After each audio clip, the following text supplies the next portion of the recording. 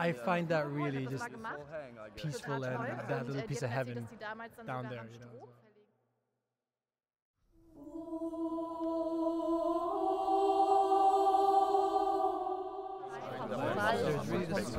Und dann hast du da das Park.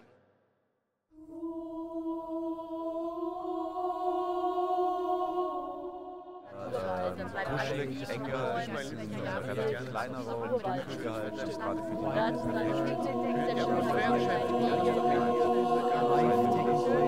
Ich weiß nie, was passiert am Abend. Aber es ist immer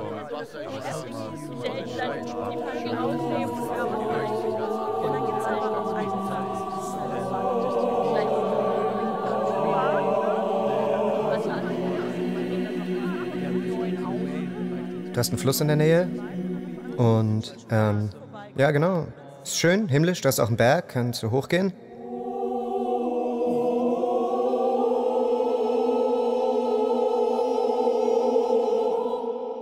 Dort hat es einen Springbrunnen, der wunderschön ist.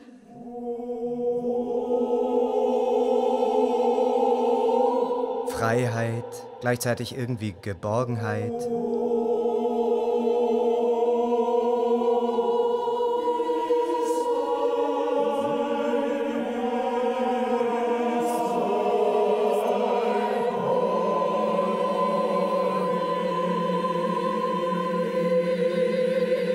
Ja, diese Landschaft macht ihnen, gibt ihnen Weite und das lässt die Seele sozusagen frei werden. Und das ist sehr schön.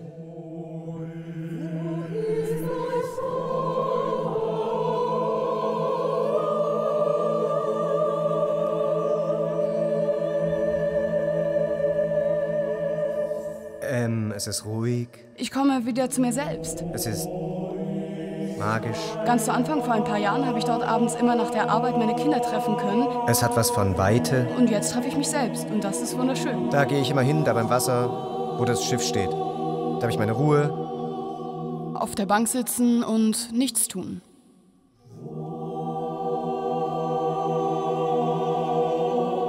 Und viele Bekannten treffen. Das ist auch ein Treffpunkt. Ich bin ein Wassermensch. Ich brauche Wasser. Ich brauche Grün und Wasser und dann bin ich glücklich.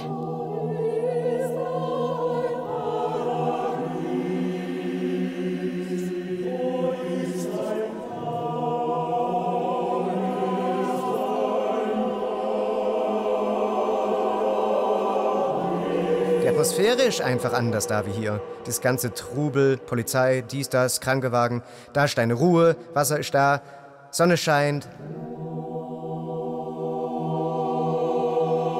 Ja, ist Ruhe. Ist die Ruhe. Wasser ist die Ruhe.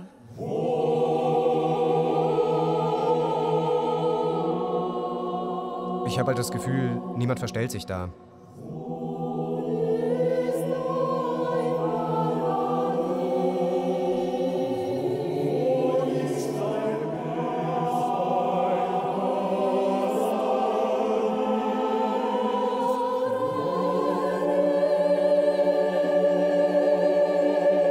Es ist abgeschottet von allem anderen, so ein bisschen Loch. Es ist eine Bar, in der man klingeln muss, so ein bisschen versteckt. Da ist man in seiner eigenen Welt drin und kann einfach sein, wie man ist.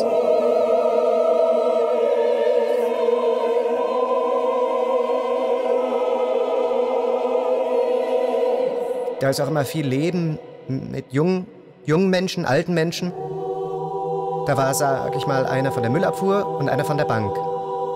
Nebeneinander in einem Lokal. Also da die Herkunft keine Rolle gespielt. Ich glaube, das ist einfach die Ruhe und das Abschalten. Ich glaube, das macht dann für mich das Paradies.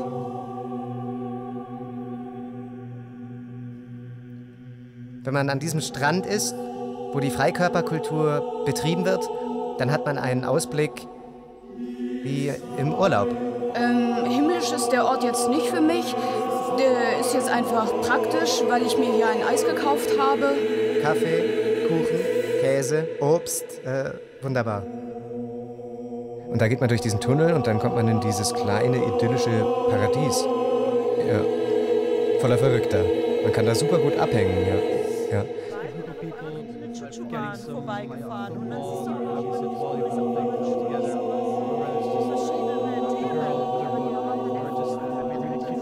Als wäre man nicht in Karlsruhe, als wäre man nach Italien gereist, kommt man wieder raus und dann steht man plötzlich wieder mitten in Karlsruhe.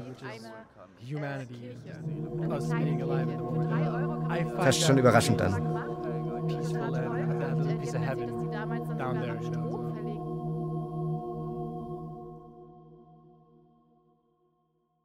Und? Wo ist dein Paradies? Ruf uns an, schreib uns eine Mail oder triff uns persönlich. Wir freuen uns auf deine Geschichte für eine der nächsten Episoden von Paradise Found.